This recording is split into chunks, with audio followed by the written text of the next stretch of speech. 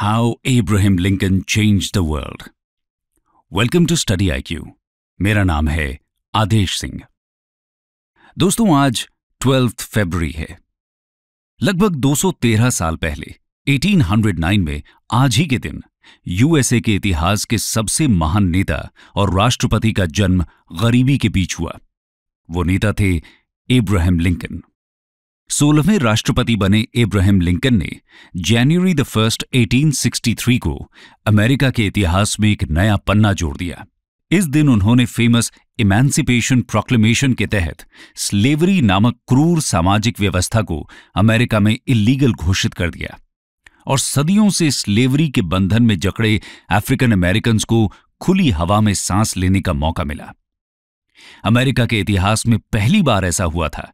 कि किसी प्रेसिडेंट ने स्लेवरी को अबॉलिश करने की पहल की थी। लेकिन आपको जानकर हैरानी होगी कि उस दौर में लिंकन के लिए यह काम आसान नहीं था।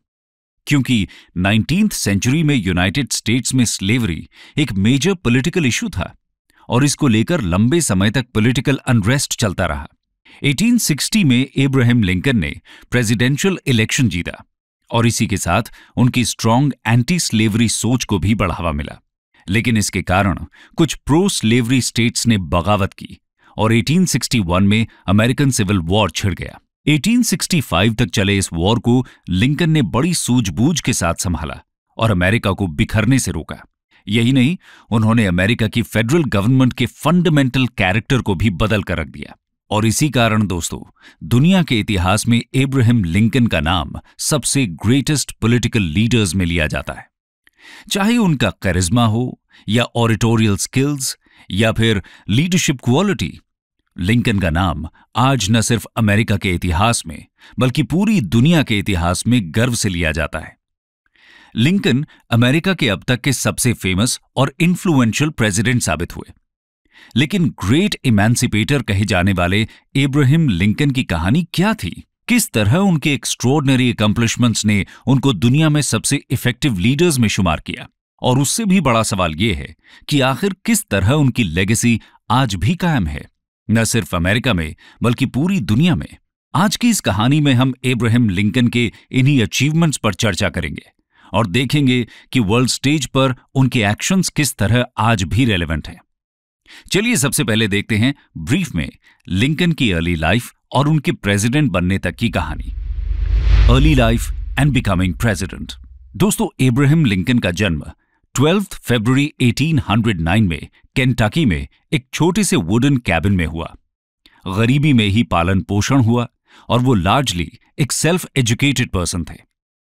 अपने पिता की फ़ार्मिंग में हेल्प करते थे और वो एक लंबे कद के स्ट्रांग और एथलेटिक इंसान थे। जी हाँ दोस्तों आपको जानकर हैरानी होगी कि 21 साल की उम्र में उन्होंने एक रेसलिंग चैंपियनशिप जीती थी। खैर 1830 में, यानी जब लिंकन 21 साल के थे, तब उनकी फैमिली इलिनॉय मूव कर गई। यहाँ पर उन्होंने ट्रांसपोर्ट की बोट्स पर काम किया। दोस्तों, इसी दौरान उनका पहली बार स्लेवरी से साक्षात्कार भी हुआ। इसके बाद 1832 में लिंकन ने पहली बार पॉलिटिक्स में एंटर किया, जहाँ पर उन्होंने इलिनॉय जनरल असेंबली के लिए इलेक्शन लड़ा। लेकिन एजुकेशन पावरफुल फ्रेंड्स और मनी की कमी के चलते वो ये इलेक्शन हार गए। पर उन्होंने हार नहीं मानी और 1834 में विग पार्टी ज्वाइन कर उन्होंने दोबारा इलेक्शन लड़ा। इस बार वो जीत गए और इलिनॉय हाउस ऑफ़ रिप्रेजेंटेटिव्स में उनका चार साल का टर्म शुरू हुआ। पहले टर्म में ही उन्होंने कुछ बोल्ड स्टेप्स लिए। इस दौरान वोटिंग राइट्स सिर्फ़ व्हाइट लैंड ओनर्स के पास होते थे। लेकिन लिंकन ने इसे एक्सपैंड करके हर व्हाइट मेल को इंक्लूड करने के लिए अपनी आवाज़ उठाई। उन्होंने इस समय भी स्लेवरी को अपोज किया था। स्लेवरी के खिलाफ लड़ाई में सबसे पहला और इंपॉर्टेंट मोड़ 1854 में आया, जब कैंसस और नेब्रास्का दोनों स्टेट्स ने कैंसस नेब्रास्का एक्ट पास किया। इस एक्ट के तहत स्लेवरी का एक्सपेंशन होने वाला था, पर लिंकन ने अपनी फ़ेमस प्योरिया स्पीच में इस एक्ट को अपोज किया। इस स्पीच में उन्होंने ओपनली स्लेवरी के खिलाफ अपने ऑपोजिशन को अनाउंस किया और इसके बाद से प्रेसिडेंट बनने तक उन्होंने स्लेवरी के मुद्दे को अपना एजेंडा बना लिया। 1858 में हुए प्रेसिडेंशियल डिबेट्स में भी उन्होंने इस एक्ट को एक्टिवली अपोज किया। इन डिबेट्स में उनको एक नेशनल रिकग्निशन मिला, जिसके बाद उन्हें रिपब्लिकन पार्टी की तरफ़ से प्रेसिडेंशियल कैंडिडेट बनाया गया। और फाइनली 1860 में हुए यूएस इलेक्शंस में वो प्रेसिडेंट बने। उनके प्रेसिडेंट बनते ही सदर्न यूएस के प्रो स्लेवरी स्टेट्स ने खुद को यूनाइटेड स्टेट्स के यूनियन से अलग कर लिया। और 1861 में अमेरिकन सिविल वॉर की शुरुआत हुई। और यहाँ से शुरू होती है लिंकन की स्टेट्समैनशिप और विजनरी लीडरशिप की दास्तान। आइए जानते हैं कि कैसे उन्होंने सिविल वॉर से अमेरिका को बाहर निकाला और स्लेवरी का खात्मा किया। Role in civil war. दोस्तों, एब्राहिम लिंकन के ऑफ़िस ज्वाइन करने के पहले ही सात southern states, South Carolina Mississippi, Florida Alabama Georgia, Louisiana और टेक्सास ने यूनियन से खुद को इंडिपेंडेंट अनाउंस कर दिया था। यूएस गवर्नमेंट ने इन नई कंट्रीज़ को रिकग्नाइज करने से इनकार कर दिया और उनको इलीगल घोषित कर दिया। ट्वेल्थ अप्रैल 1861 को सिविल वॉर स्टार्ट हुई, जो अमेरिका की हिस्ट्री का ब्लडिएस्ट वॉर बनने वाला था। यूएस दो पार्ट्स में डिवाइड हो गया, नॉर्दर्न स्टेट्स, जो कि स्लेवरी के अगेंस्ट थे, और सदर्न स्टेट्स, जो स्लेवरी का समर्थन कर रहे थे। इन रेबल स्टेट्स को कन्फेडरेट स्टेट्स बोला गया। जनवरी फ़र्स्ट 1861 को लिंकन ने आर्म्ड फोर्सेस के कमांडर इन चीफ होने के नाते अपनी पावर्स का यूज़ किया और इमेंसिपेशन प्रोक्लेमेशन इश्यू किया। जैसा कि हमने बताया कि इस प्रोक्लेमेशन के तहत सभी कन्फेडरेट स्टेट्स में स्लेवरी को इलीगल करार दे दिया गया। यहाँ एक चीज़ को ध्यान में रखना ज़रूरी है, क्योंकि ये लॉ यूएस कांग्रेस यानी वहाँ के लेजिस्लेचर से पास नहीं हुआ था, बल्कि एक वॉर स्ट्रैटेजी के रूप में पास किया गया था, इसलिए रेबल स्टेट्स के स्लेव्स रियलिटी में फ्री नहीं हुए। लेकिन इस लॉ के कारण कई स्लेव्स अपने मास्टर्स के चंगुल से भागकर नॉर्दर्न स्टेट्स की टेरिटरीज में जाने लगे। दोनों ही तरफ़ से आर्मीज इकट्ठी हुई और लंबे समय तक चले इस वॉर का अंत 1865 में हुआ, जब सभी कन्फेडरेट जनरल्स ने एक एक करके सरेंडर कर दिया।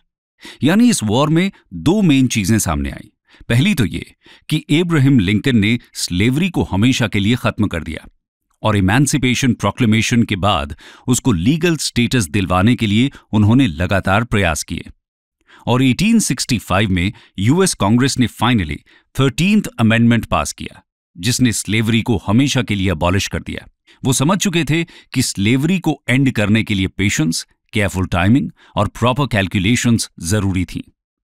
दूसरा, उन्होंने अमेरिका की पॉलिटिक्स में प्रेसिडेंट के रोल को हमेशा के लिए बदल दिया। उन्होंने प्रेसिडेंट को कांग्रेस और कोर्ट्स दोनों से सुप्रीम साबित किया। उन्होंने आर्मी और नेवी का एक्सपेंशन किया, बिना कांग्रेस की इजाज़त के बड़ा अमाउंट वॉर में खर्च किया, पोस्ट ऑफ़िस को बंद करवाया, कई लोकेशंस में हेबियस कॉपस की रिट्स को सस्पेंड करवाया और कई ऐसे काम किए जो लॉज के अगेंस्ट भी थे।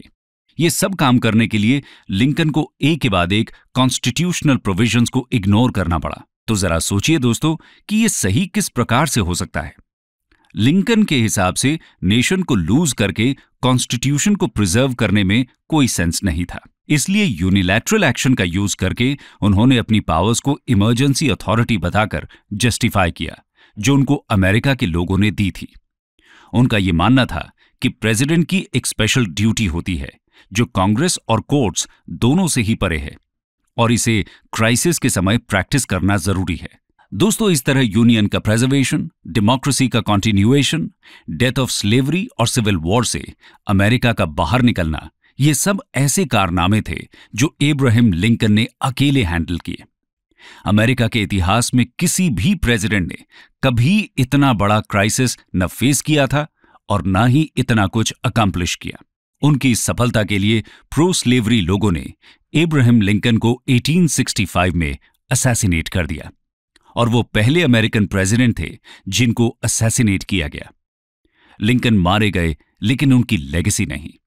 तो आइए देखते हैं कि एब्राहिम लिंकन और उनकी सोच ने किस तरह दुनिया को बदल कर रख दिया।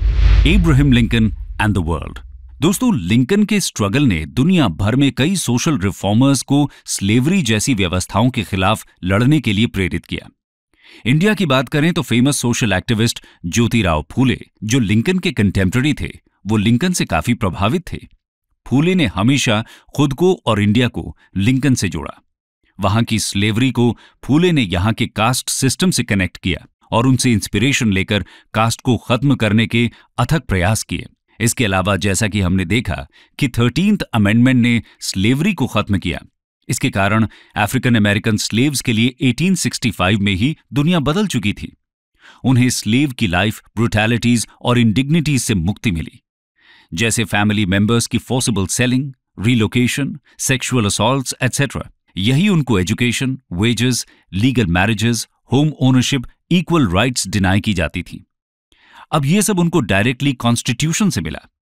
1865 से 1877 के बीच रिकंस्ट्रक्शन पीरियड में यूएस कांग्रेस ने कई लॉज पास किए, जैसे सिटीजनशिप और वोटिंग राइट्स अब अफ्रीकन अमेरिकन ने एक्टिवली पब्लिक ऑफ़िस को ज्वाइन करना शुरू किया।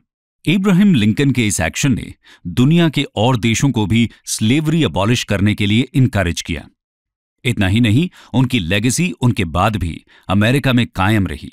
और लिंकन ने अमेरिका में कई प्रोटेस्ट्स और डेमोन्स्ट्रेशंस को इंस्पायर किया। हम आपको बता दें कि भले ही लिंकन ने स्लेवरी को अबॉलिश कर दिया था, पर अमेरिका में रेसिज्म खत्म नहीं हुआ था, और यही वजह है कि लिंकन की मृत्यु के लगभग सौ साल बाद 1960s में अमेरिका में सिविल राइट्स मूवमेंट का उदय हुआ, जिसे लीड कर रहे थे Martin Luther King junior. Martin Luther King junior खुद लिंकन के एफर्ट से प्रभावित थे और इसीलिए उन्होंने अमेरिका में रेसिज्म के खिलाफ अपना famous speech I have a dream Lincoln Memorial के स्टेप्स में खड़े होकर दिया। वो हमेशा लिंकन के इमेंसिपेशन प्रोक्लेमेशन की बात करते रहते थे। दुनिया में रेसिज्म आज भी किसी न किसी फॉर्म में एग्जिस्ट करता है। और ऐसे में अमेरिका सहित पूरी दुनिया में समय समय में प्रोटेस्ट और डेमोन्स्ट्रेशन होते रहते हैं। और इन सभी प्रोटेस्ट में एब्राहिम लिंकन की लेगेसी को याद ज़रूर किया जाता है। लिंकन के द्वारा प्लान किया गया रिकंस्ट्रक्शन भी दुनिया के लिए एक और मिसाल बना। इस प्लान को उन्होंने सदर्न स्टेट्स को वापस यूनियन में जोड़ने और देश को सिविल वॉर में हुए इकोनॉमिक लॉसेस से निकालने के लिए बनाया। उनके इस प्लान से ग्लोबल इकोनॉमी को भी कई चीज़ें सीखने को मिली, जैसे लो और मिडिल इनकम ग्रुप्स की अपवर्ड मोबिलिटी को बढ़ावा देना कंट्री में उनको सिग्निफिकेंट स्टेक देना और बिज़नेस एस्टैब्लिश करना। डेफिनेटली नेशनल इकोनॉमी को पुश कर सकता है। ब्लैक अफ्रीकन अमेरिकन को उनका हक दिलाकर, उन्होंने देश को क्राइसिस से बाहर निकालने में अहम भूमिका निभाई। स्लेवरी अबॉलिश करके उन्होंने गवर्नमेंट के रोल को उजागर किया, जो समाज में पीछे छूट गए लोगों को आगे बढ़ाने के लिए ज़रूरी है। और उनका ये प्रयास दुनिया भर के कई देशों के लिए आज भी इंस्पिरेशन है। इसके अलावा नवंबर 19, 1863 लिंकन ने गेटिसबर्ग एड्रेस दिया जिसको दुनिया के सबसे फ़ेमस और शॉर्टेस्ट स्पीचेस में गिना जाता है। इस स्पीच में उन्होंने इस बात पर ज़ोर डाला कि एक नेशन को बनाए रखने के लिए इस बात को समझना ज़रूरी है कि all people are created equal इसी एड्रेस में उन्होंने फ़ेमस कोट दिया government is of the people by the people and for the people उनके ये फ़ेमस आइडियल्स भी आज दुनिया की सभी डेमोक्रेसीज और पॉलिटिकल लीडर्स के लिए प्रेरणा स्रोत बन चुके हैं। तो दोस्तों, ये थी कहानी यूएसए के इतिहास के सबसे प्रसिद्ध प्रेसिडेंट एब्राहिम लिंकन की, जिसने दुनिया को इक्वालिटी लिबर्टी और डेमोक्रेसी को ट्रू सेंस में प्रिजर्व करने की सीख दी। ये थी कहानी उस एब्राहिम लिंकन की, जिसने स्लेवरी को खत्म कर दुनिया भर के उन करोड़ों लोगों को मोटिवेट और इंस्पायर किया। जो सदियों से स्लेवरी जैसी व्यवस्थाओं तले उत्पीड़न झेलते रहे।